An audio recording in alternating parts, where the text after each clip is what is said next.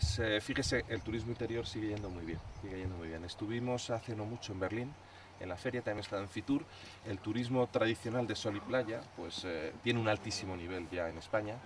eh, y bueno, va alcanzando sus cotas, pero lo que va mucho más dinámico, lo que despierta más interés y además trae, como decía antes, a visitantes con poder adquisitivo medio y alto, es precisamente el turismo del interior. Y estamos en cuotas de mercado elevadas del orden de, a ver, el concepto en un 20%. Las comunidades autónomas de interior ya tienen 3 millones de turistas internacionales, lo cual es más que notable.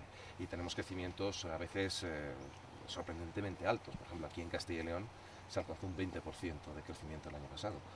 Bueno, sostenible lo es porque no tenemos un problema de congestión. No, no es el mismo caso de una isla en el Mediterráneo o en, zona muy turística en la costa levantina. Eh, no es evidentemente ese mismo caso. No tenemos eh, un problema tampoco de estacionalidad en el turismo de interior. El turismo de interior se va, hombre, tiene más afluencia en las épocas de vacaciones, pero es regular. Eh, actúa durante todo el año, incluso viene en invierno, que es otra de las cosas interesantes.